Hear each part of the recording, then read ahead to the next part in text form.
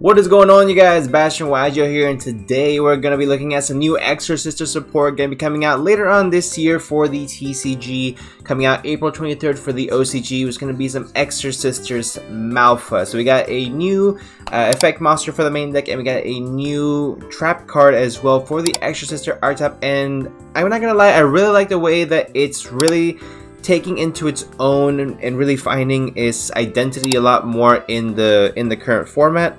Well not the current format but what might be the future format. So essentially with these two new support cards what we're seeing is Extra just prior to these two were very passive as in the sense that your opponent had to do all these things with their graveyard in order for you to gain effects had to either move a card in any shape way or form but your opponent had to go ahead and take control of that had to take control of creating those actions. With these two cards, I think it gives you a little bit more control over your own fate. Just go ahead and read them and we'll see what we think a little bit after that as well. So, level 4, Light Spellcaster Effect Monster. Okay, you can only use this card's name first and second effects once per turn each.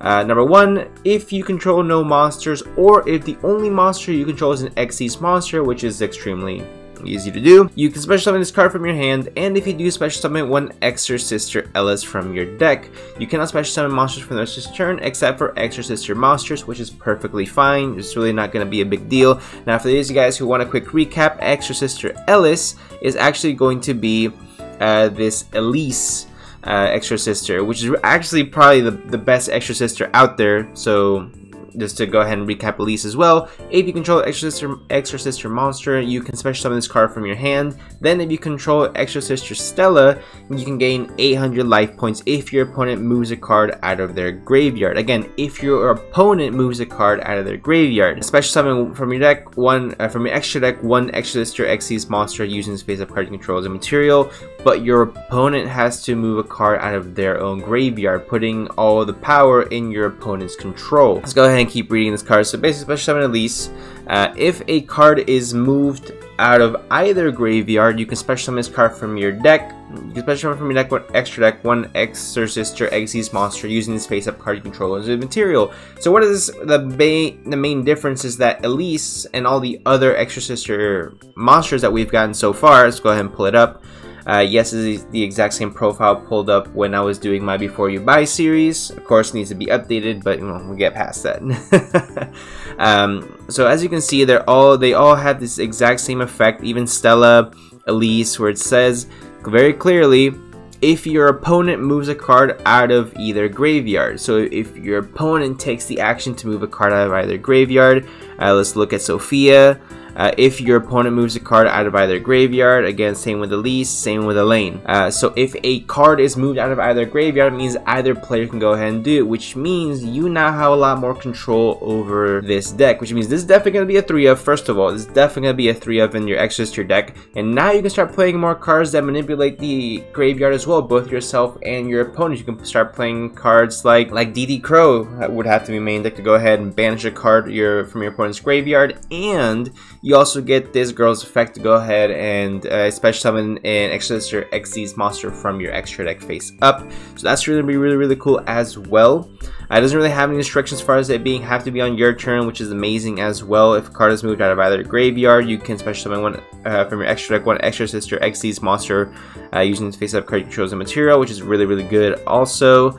Uh, so that is something that I very very much like. I really hope it works, and if it doesn't, it doesn't need to have like the quick effect for it to activate. But I really like Malfa a lot. Like I said, it just gives you a lot more power over, uh, or a lot more control over what you can and cannot do. You start playing cards like Monster Reborn, cards that special summon from your graveyard, might banish from your graveyard. You might be able to mix this with like Chaos maybe, but you can only special summon Exosisters. But I'm just theorizing at this point, as you know, I'm pretty much reading this for uh, for the second time with you guys. So with the trap card that came out, or that will be coming out for the Exosisters, this I like quite a bit. Uh, you can only activate a cards with this a card with this card's name once per turn. Fair enough. Uh, if you control an Exosister monster, uh, you can pay 800 life points and target one card your opponent controls or in either graveyard, banish that target, then apply one of these effects. Great, this is pretty much already doing a lot of what I was saying in the beginning for you is banishing a card from either graveyard, which then activates the normal the uh, the effect monster. What was that girl's name again? Uh, Malpha uh, from your field as well. So that's really really good. So then after you banish a card from uh, from your opponent graveyards or a card they control, you can immediately after this effect Xyz summon an Exosister monster from using materials you control, using monsters you control as a material. And for the rest of this turn, uh, if you Xyz summon a uh, if you Xyz summon a monster, banish one card your opponent controls. You can choose either one of these to apply. A lot of the Exosisters do have that effect where they will be summoning an, uh, an monster from the from the extra deck anyway.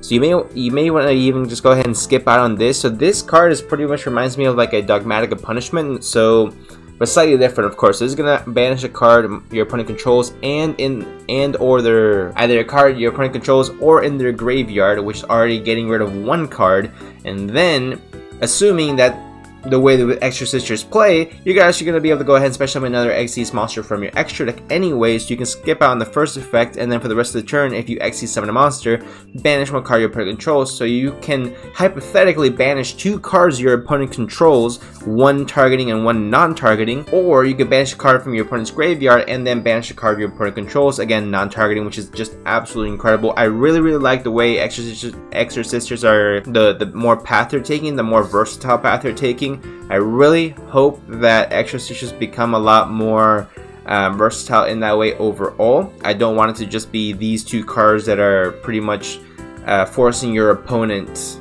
into into a bit of a, a spot.